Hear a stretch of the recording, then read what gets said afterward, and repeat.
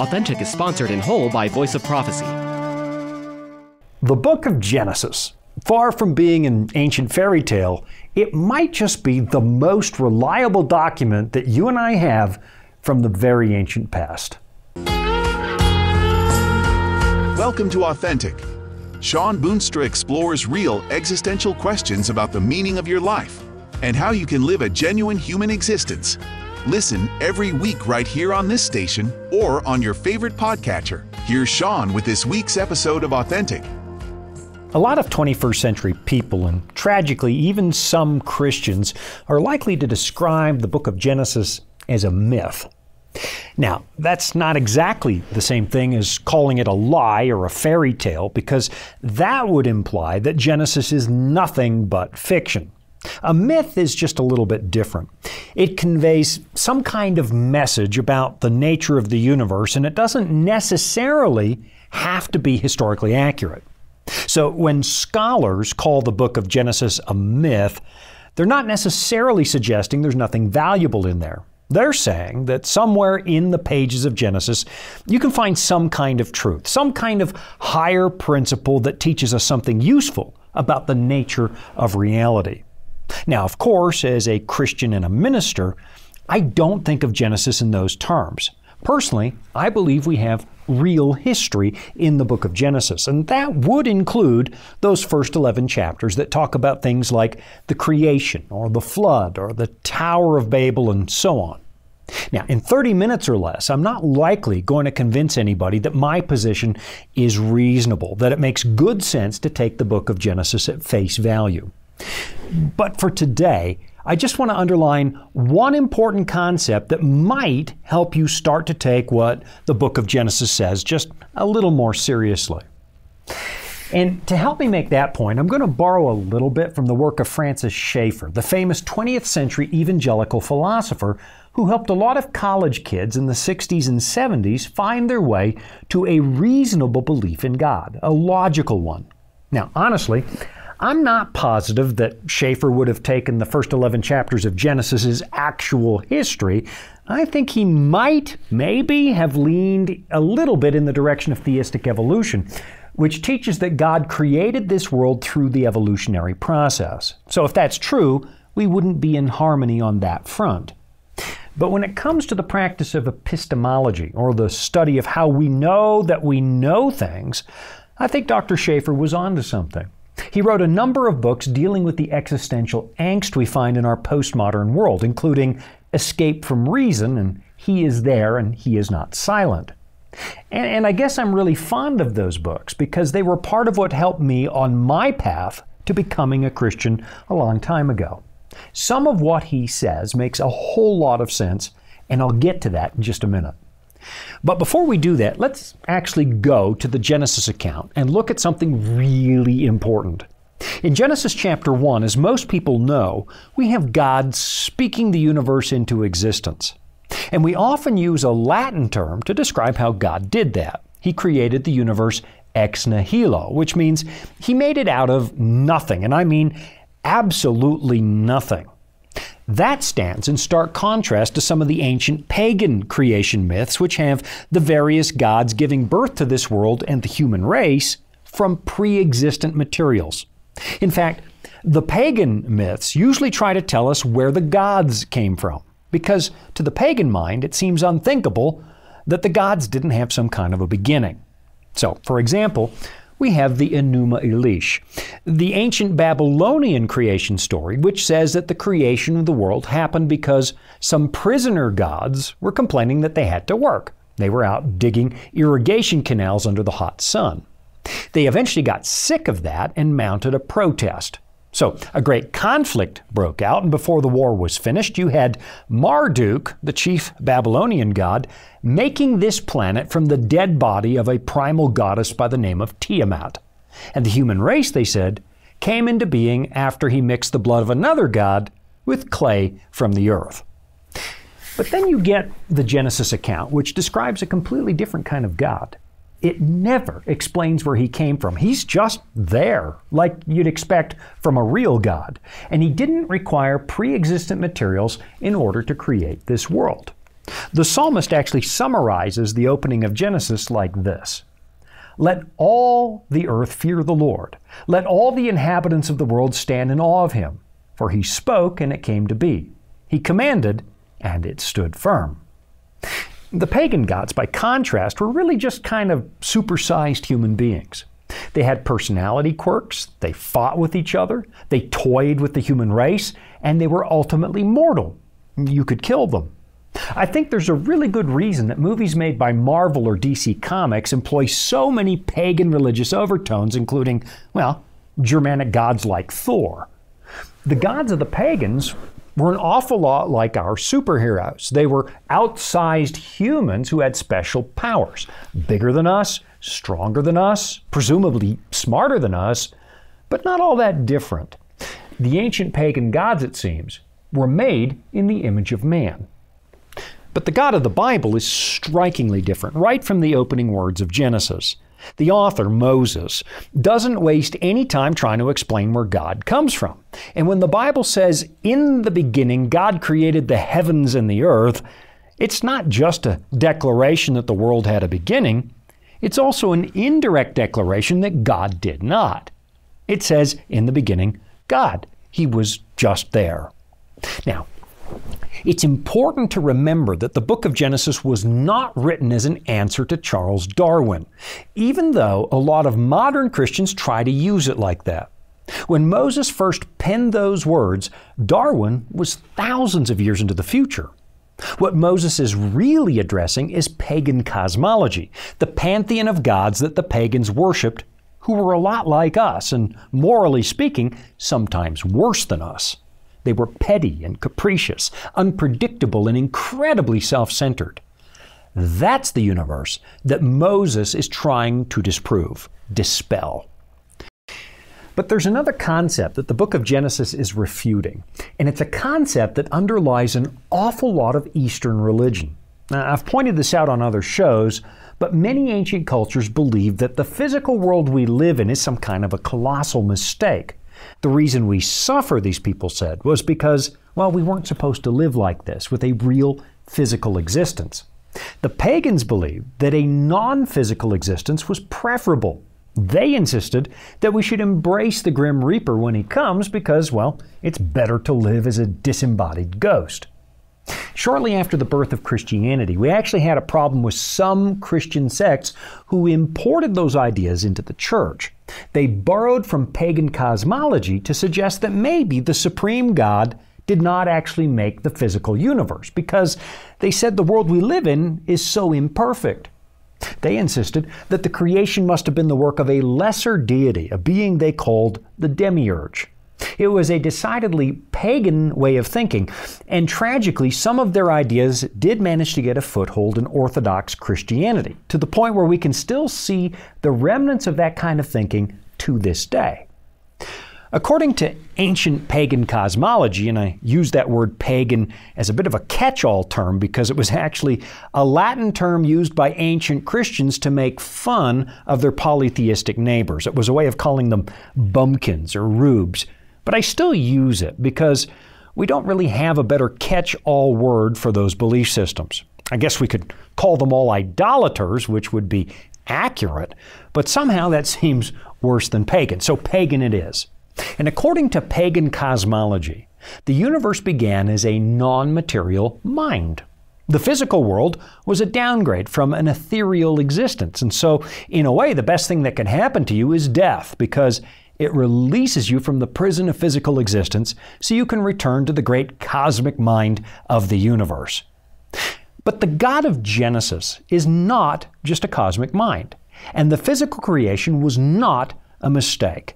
And I'll be right back after this to tell you why. Life can throw a lot at us. Sometimes we don't have all the answers. But that's where the Bible comes in. It's our guide to a more fulfilling life. Here at the Voice of Prophecy, we've created the Discover Bible Guides to be your guide to the Bible.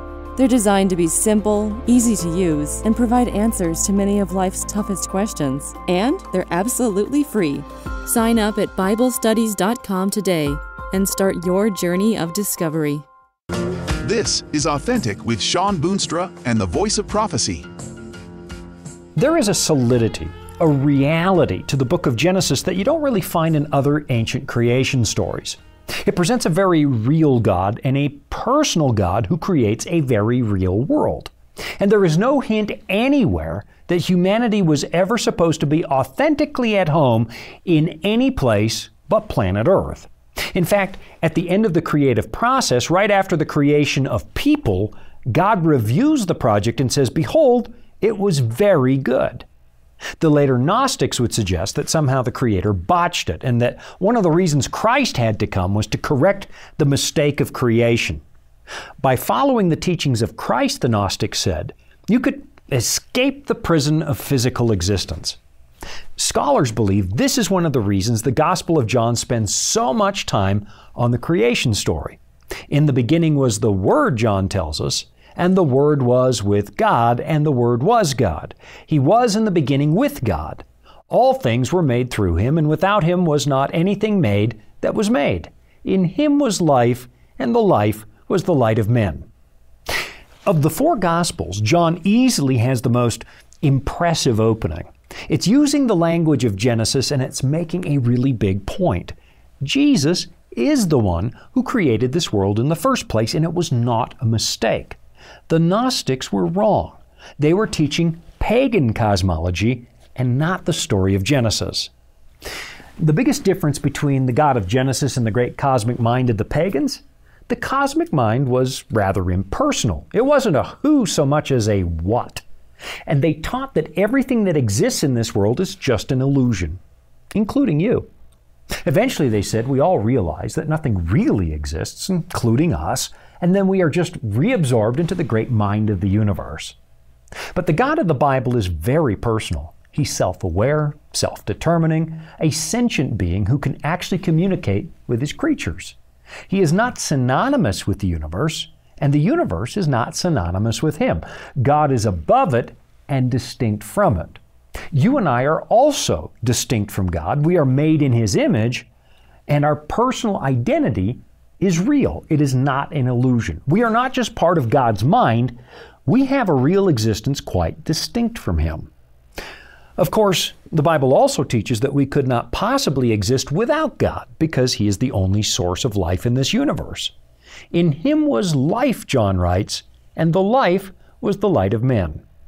In his letter to the Colossians, Paul spells it out like this. He writes, For by him, that's Jesus, all things were created in heaven and on earth, visible and invisible, whether thrones or dominions or rulers or authorities.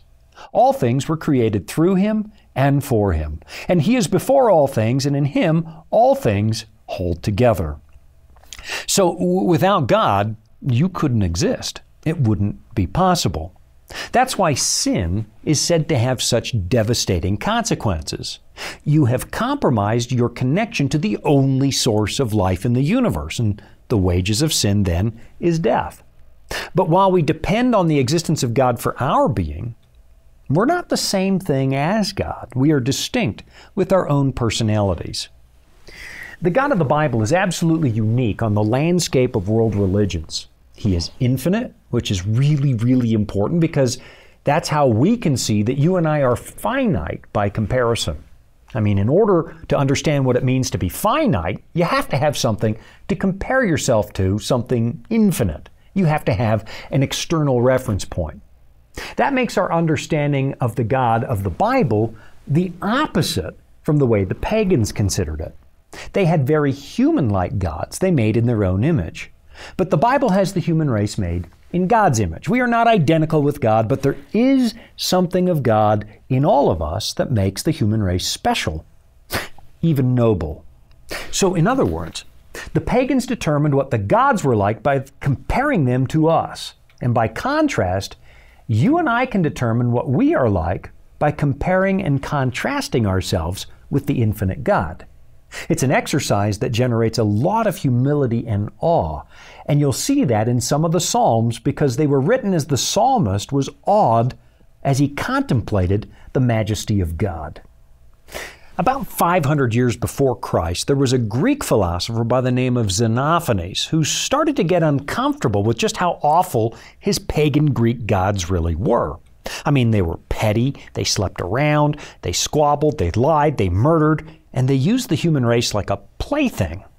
He finally came to the realization that these couldn't be gods at all, and because they weren't big enough to explain the existence of the whole universe, he suggested there must be one God who created everything. Now, unfortunately, we don't have much left over from his writings, but the fragments we do have demonstrate that Xenophanes was getting embarrassed by his paganism. He realized that his gods were made in the image of humanity. If animals could be religious, he taught, their God would look like an animal because they were making gods to resemble themselves. That's what we've been doing, Xenophanes said. But God, if you think about it, couldn't possibly be like us. One of the key differences, he said, is that the Creator must be eternal by his very nature. And we're not. Everything which comes into being, he said, is doomed to perish. And he insisted that the human soul might actually just be our breath. He was moving away from pagan cosmology towards something a lot closer to what you find in the book of Genesis. And he got there by using logic and reason. So now let's go back to the book of Genesis. The God it describes is big enough to account for what we see in this world. But at the same time, he is deeply personal, which explains the noble nature of human beings. It explains why the natural world appears to have order and design, and it invites us to use our gift for rational thought to go out and find God. And it was this idea that gave the Western world its appetite for science. The universe can be studied, we realize, because it makes sense. And the universe makes sense because it is the work of a sensible being. Go back and read the writings of the great minds of science, people like Da Vinci or Newton, and you'll discover that they were positive there was something to learn out there because there is a God who can be found behind the creation. It's a concept that Paul underlines very carefully in his letter to the Church of Rome. I'm pretty sure you've heard this passage before because it's one of my all time favorites. It's found in Romans chapter 1, starting in verse 19. And Paul is talking about skeptics who reject the idea of God because they think there's no evidence. Here's what he says For what can be known about God is plain to them, because God has shown it to them. For his invisible attributes, namely his eternal power and divine nature, have been clearly perceived ever since the creation of the world in the things that have been made, so they are without excuse. This is one of the biggest differences between the God of the Bible and the deities of other religions. The Greek and Roman gods eventually started to look silly because they were far too human, morally speaking. They were just too much like us. And those nebulous, fuzzy deities of the East, the ones that have no personality, that's a God who's completely unknowable. In most of the world's religions, all you've really got are some esoteric, mystical experiences that can't even be described in everyday human language. There is no reasonable approach to the cosmic mind behind the universe. You just can't get there by using simple logic. It's a little bit like the psychedelic trips that the hippies were taking back in the 60s. They would come back from this so called profound experience that didn't make any real sense. They just assumed that they had broken free from the illusion of a personal identity and ascended to some higher plane. Never mind, of course, the fact that you needed drugs to get there. By contrast, the God of the Bible is knowable. In addition to creating the universe, he continued to interact with us. In fact, he actually speaks to us. Let me read you one of my very favorite passages found over in the book of Jeremiah because I think it's one of the most profound in the Bible. But I'm right up against a break, so I'll read that to you as soon as we get back. Got kids? Get Discovery Mountain, a free weekly audio adventure to build their faith. Discovery Mountain! It's a place where the air is clear, so clear you can almost hear your imagination. A world of Bible based wonder for kids everywhere to grow their faith and get closer to Jesus Christ. Discovery Mountain free weekly content that'll inspire and engage. Listen anywhere you get your favorite podcasts or at discoverymountain.com. This is Authentic with Shawn Boonstra and the Voice of Prophecy. All right, just before the break, we were on our way to the book of Jeremiah to a profound passage that I love. In fact, you've heard me read it many times in the past. It comes from Jeremiah 9, starting in verse 23. Thus says the Lord Let not the wise man boast in his wisdom, let not the mighty man boast in his might, let not the rich man boast in his riches, but let him who boasts boast in this, that he understands and knows me, that I am the Lord who practices steadfast love, justice, and righteousness in the earth.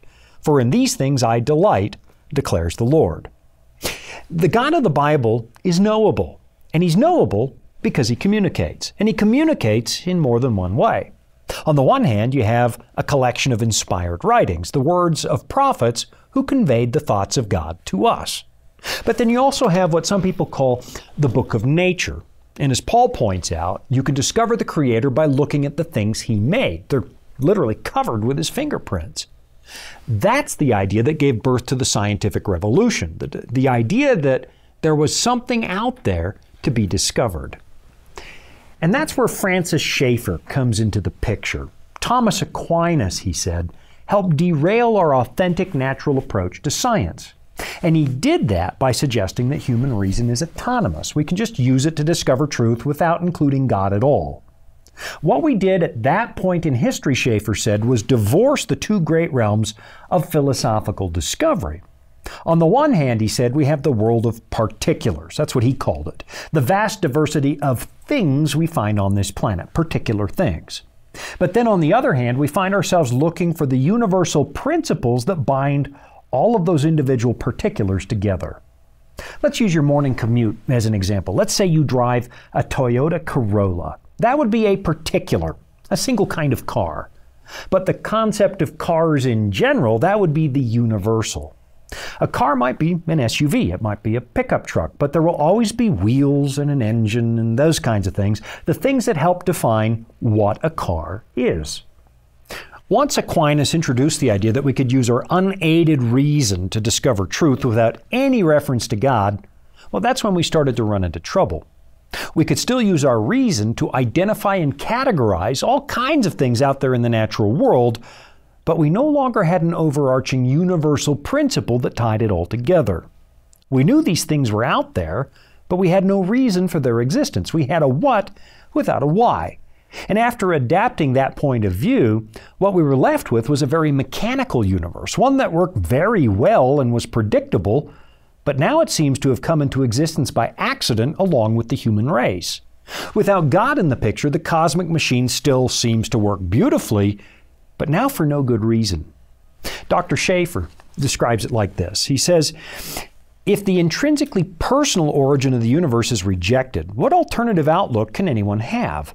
It must be said emphatically that there is no final answer except that man is a product of the impersonal plus time plus chance we still believed that the universe had order and that you could study the order to learn things.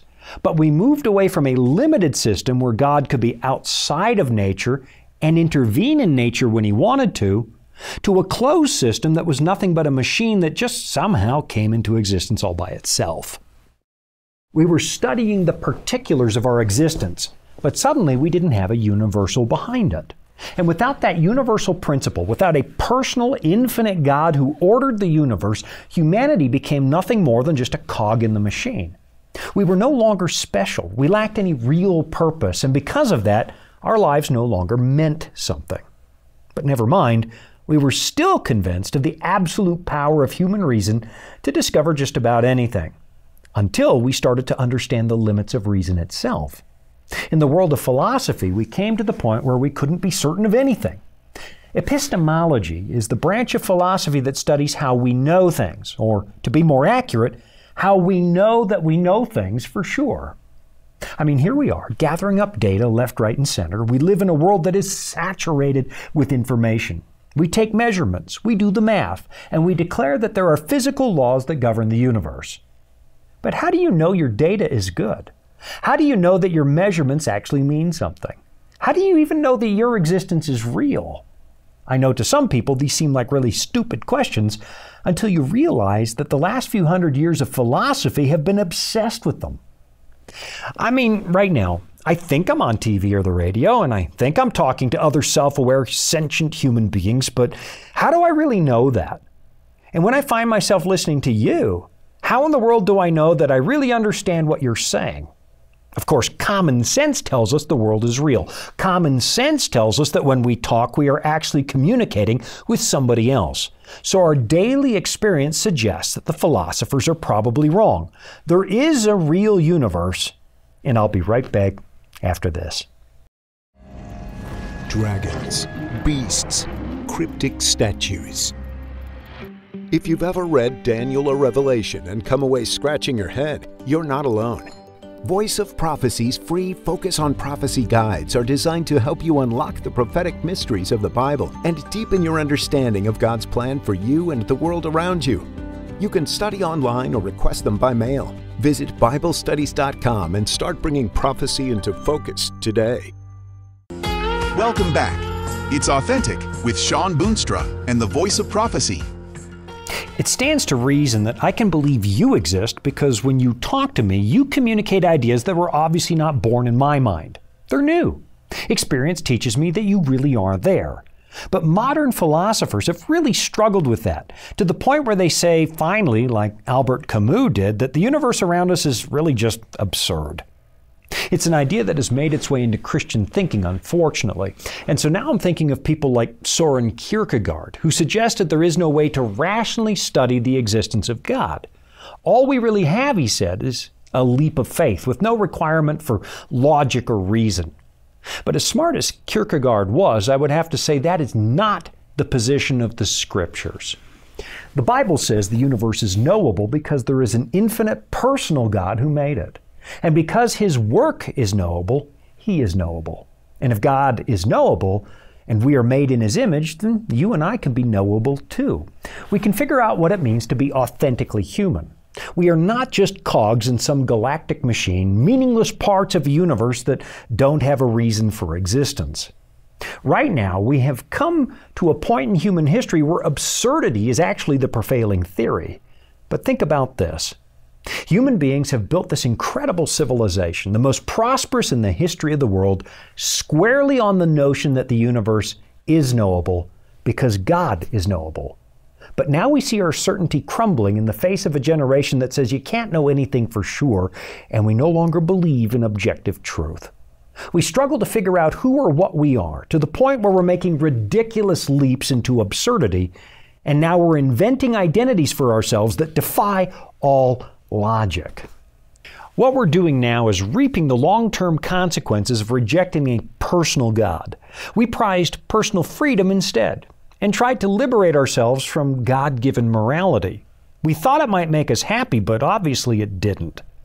You know, it might actually be too late for Western civilization, but it's not too late for you. Maybe it's time to go back to the claims of the Bible because maybe it's exactly what your heart's been looking for. Thanks for joining me today. I'm Shawn Boonstra, and you've been watching another episode of Authentic. You've been listening to Authentic, sponsored by Voice of Prophecy.